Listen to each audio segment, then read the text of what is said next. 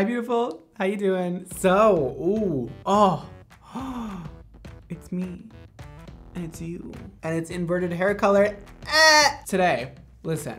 We're doing inverted hair color. This trend went around for a while on Instagram, then it went to YouTube, but it always had to do with makeup, okay? It was always inverted makeup. It was these looks and these looks. It was a lot, and I was like, wow, that's cool. I remember seeing a guy named Lithium Snow do it a long time ago who had, he has amazing hair. Hi, um, your hair is fabulous. And then NikkieTutorials did it. So whoever started it, I think, I think it was one of them. And I thought it was so cool and so inventive and so creative. And then I'm like, no, I was never like, let's do it in hair. I never had that thought. Of all the thoughts that I have, doing inverted hair color was never one of them. I was like, how, how are you supposed to do that? I couldn't wrap my head around it. Like, I don't know wh where my creativity was really lacking at that point, apparently. Cause then Miss Caitlin Ford uploads a video a few weeks ago doing inverted hair color. Where was I on that trend? Miss Caitlin Ford, if you don't know her, she is an amazing hairdresser on Instagram and she has her own YouTube channel. It'll be linked below, of course, but she is so awesome um, and she does some really creative, sickening colors. So Caitlin uploads the video, like I said, it's called Inverted Color Challenge. And she basically nominated me to do this challenge, right? What does really inverted colors mean? I get it, like if it's dark, it's then light when it's inverted. So we're gonna do that today. I'm gonna try and recreate the look that Caitlin did on her wig, and I'm gonna do it on my wig today. so good luck to me. I'm gonna give it a go and see what happens. Hopefully I nail it. Let's do it. Woo! And bam, here she is. She is looking stunning. I pre-toned her with some purple shampoo and just cut a little bit of her length off real quick. She is prepped and she is totally ready for this color. Let's get mixing. Let's do the rainbow first. And voila, we are ready to get painting now. this is a lot of color, okay. All right, so Caitlin took super diagonal sections. And we're gonna get our base color down here, our pattern actually, and then we can just go ahead and follow it through. Oh no, I, I Oh, good luck to this wig, honestly, because I'm about to paint the roots black. And uh, if you ever painted a lace front wig, with black hair color. Well, just don't because your lace is gonna end up black and it's not gonna look natural. Can't wait. However, I don't think that we're going for a natural look today, but I could be wrong. I mean, I don't know. Maybe people's hair grows like this out of their scalp. And if you're one of those people, I want to be friends with you. Oh God, black color stresses me out, y'all. well, one color down, a 100,000 more layers to go. Let's do this. Two down, a billion more to go. Okay, uh, I need to do way more than that in the next layer. Well, it's definitely something. Wish me luck. I have all these layers in here that are like getting in the way of my life. Wow, wow, I'm a hair color machine.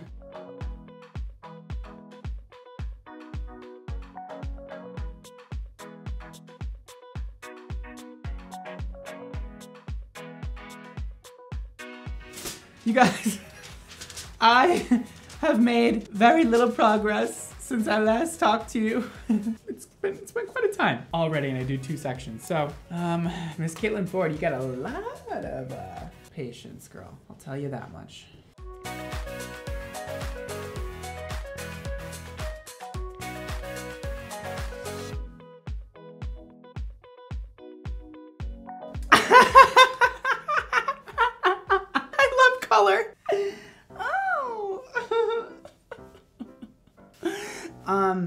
No, really. I do love color, but listen, when you're dealing with one, two, three, four, five, six, seven colors at a time, mm, my brain starts to hurt. So basically what's going on here, let me just show you what's, what's happening. So we got our sections, right? We got, we got it going on. Learning how to build my foundation right now and just making improvements. So basically when I pull the sections forward, right, we're doing diagonals and this is the front of her face up here. I mean, she doesn't really have a face, but like, that's okay.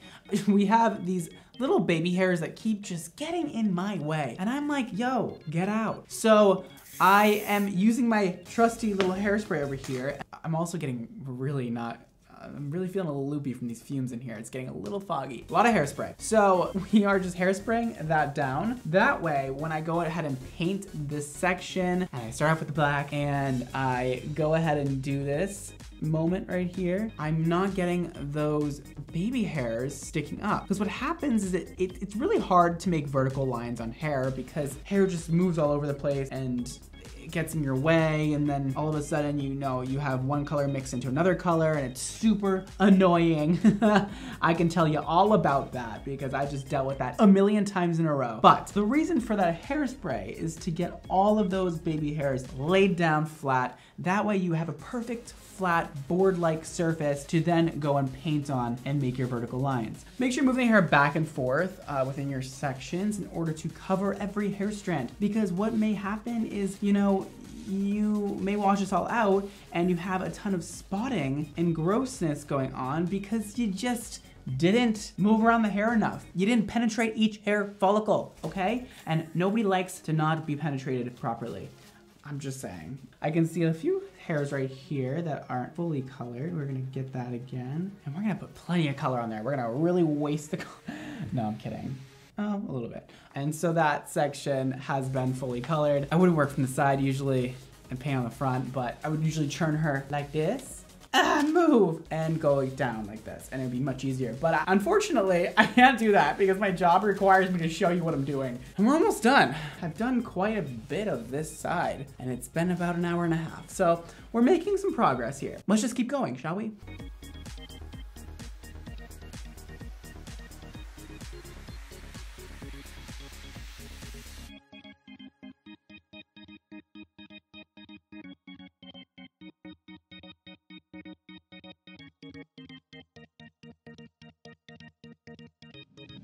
And boom, only took me an hour and a half to clean up and mix new colors, but we're here. Ah! Okay, so here's the thing. I do really enjoy it. Like when I get in the zone and I'm chilling and I'm doing my thing, I like it. I like it a lot. But then again, I have you to entertain. So basically what I'm saying is you're ruining my life. I'm just kidding, I love you. Okay, so where I'm at is I finished the other side, right? So I know that Caitlin actually rinsed everything out and blow dried it and took a picture of it. However, I didn't do that because I was thinking like, I want to see like when, when the color's processing, like when it's the most vibrant, I want to take a picture of that color and then invert it on Photoshop. So this is what I got when I inverted the picture. Um, interesting colors, right? So I sat around mixing those exact colors for the last, you know, half hour. So we have this kind of like pastel silver. It will be a lot lighter on the hair. We have this kind of like pastel green. And then we have this sort of like light yellow. Mm, um, we have a magenta with a little bit of more purple mixed in, just it's like a little bit on more on the purpley side. We have a royal blue, extremely blue blue. And then we have, you know, our beautiful turquoise to end with. Um, and then we go back to this color. Wish me luck. I mean, hopefully it looks inverted because that's what Photoshop told me. So I'm listening to Photoshop today. Okay, so I'm gonna start this section. Wish me luck. Hopefully my patience get me through it. It is 1240 a.m. I have to be up at 8.30 tomorrow, um, so I'm not gonna really sleep much tonight, but that's okay. Who needs sleep, you know? I'm gonna come back in a little bit and tell you a really funny story about one of the first times I actually worked as a hairdresser in a salon in New York City. So stay tuned for that in a little bit. It's, it's pretty juicy. Well, actually, it's just like appalling. You'll see.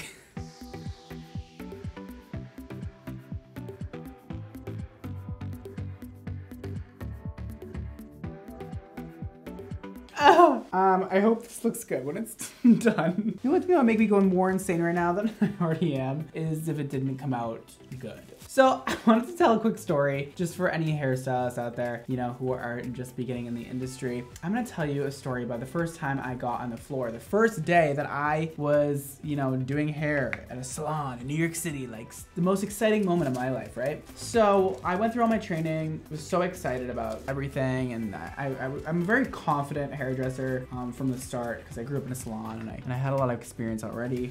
so my first day on the floor, my teacher, who was like the master master stylist there was like, hey Brad, like I don't have enough time to finish styling my client's hair. Can you please like give her a blowout? And I'm like, you want me like literally my first day on the floor to do your master stylist blowout i was like sure. Like i was never the one to be like no. Even if i was so scared i was so scared right? I didn't want to mess up. Like i wanted to just show her how it's done and kill it and just rock it. Like even though i was confident i was still a bit nervous obviously. So i i did it and i knew about this woman right? I knew that she was a bit well let's just say particular about her hair right? I was warned about this. But since the stylist believed in me and I was like, you know what, if they believe in me that I can do this, I was like, yeah, I can do it, I can do it. So I'm there and I'm blow drying and this woman is going off on like telling me how to like do her blow dry and I'm like, okay, like I hate when clients like tell you to blow dry like another stylist or like tell you how to color like another stylist or tell you how to do hair like another stylist that they used to go to. Girl, I'm not your other stylist. Unless you go to that stylist, you're gonna get a different kind of color or a different kind of cut or a different kind of blow dry. So I'm already like, like this woman, like she wants her girl but she got me. So, oh well. So I bring her to the sink to um, rinse the color off her head that she had on. She looks back at me and she's like, please don't wash my hair, just condition it. And then I'm like, okay, yeah, no problem. Like people ask for that sometimes, like, yeah, of course. But I'm already nervous, right? So I am just doing my best. Just wanted to, you know, do good. So I am putting water on her head and then just out of habit, I happen to grab a freaking shampoo bottle out of habit, right? Because like when you put something back in that chair, you're like, oh, I might as well just go and shampoo them. no, this woman didn't want to be shampooed, and that is a fact. Because she realizes, you know, after I start scrubbing her head, that I am shampooing her head. Um, oops, you know what I mean? And in my head, I'm like, oh crap, like of course I just messed it up. So she looks back at me like, looks up in my eyes and she just stares at me and I'm like, what? Like at this point I didn't even know what had happened. She's staring at me and I'm like, hi. And she goes, are you, are you stupid? I'm telling you, I cannot make it up. She literally looked in my eyes and asked me if I was stupid because I was shampooing her hair when she had asked me not to. She goes, I literally just asked you to not shampoo my hair and you put shampoo on it. And I know, I know that's stupid. I realized that. Like, and that's why I, felt a little bit bad about it. I was like, uh -huh, yep, Yep, I did that. You're crazy, but you're right. Um, so I am there shampooing and I'm like, oh no. I literally, the first thing I started doing with this woman, I screw up. Oh, I was just so like, sad about it. So I don't say anything to her because I can't believe she just called me stupid, right? I, I was just like so mad about that. I think I didn't even care about the other thing. And I was like, uh-uh, this girl did not just come for me like this. Like, I don't even know her. like, don't be in entitled and rude. She had just gotten her hair colored and that's why she didn't want her hair shampooed. And I'm like, girl, it's literally not that big of a deal. So chill. I then, you know, finish the whole thing and I get her back in my chair, pretend like that whole thing never happened. I just keep a smile on. I pretended she didn't call me stupid. I blow out her hair and she ends up loving it. but she actually ended up, you know, calling their stylist over that usually does her hair and she's like, I'm so sorry, like I lost my cool earlier with Brad and I called him stupid. And my boss was like, are you kidding me? Like you called him stupid? What, what's wrong with you? You can't just say that to people. And she like comes and apologizes to me and the whole thing is all better. But I was so devastated, you guys. Like I couldn't believe my first experience on the floor. I just got called stupid right away. It made me definitely scared of clients for, for like months after that. I was like, uh, like maybe, uh, I don't know. I sucked it up. I didn't make it known that I was scared, but girl, I was scared from that day forward. I was like, oh God, I don't want to deal with any, any more of these like New York City ratty type of people. If anybody ever calls you stupid, just don't reply to them. It worked for me. It'll work for you, I'm sure. And honestly, if you're a hairstylist, just know you're gonna screw up. You're gonna do stupid things. Just own up to it and move on, you know? That's my story of when I got called stupid for shampooing somebody's hair. Thank you. End scene. I'm gonna continue with this, probably talk to you in the middle and um, finish it up.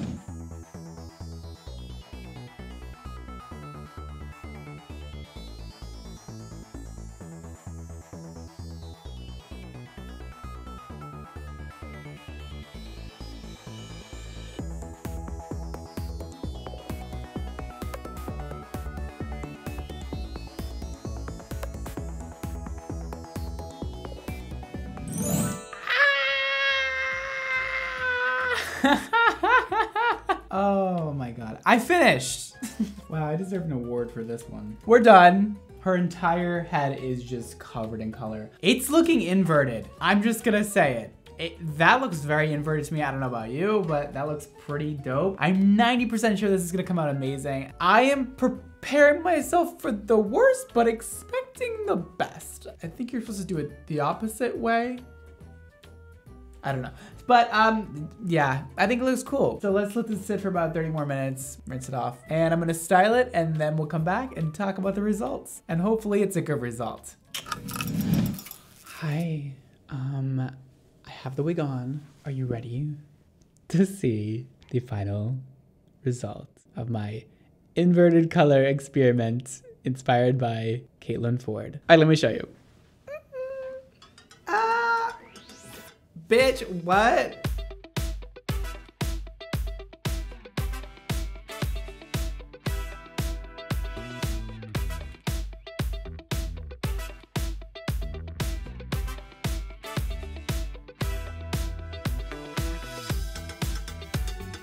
Tell me this isn't inverted. Tell me it's not inverted. Tell me that's not, this isn't inverted. Like, just tell me because I am like Sorry, I'm just kind of like feeling myself all of a sudden. Oh!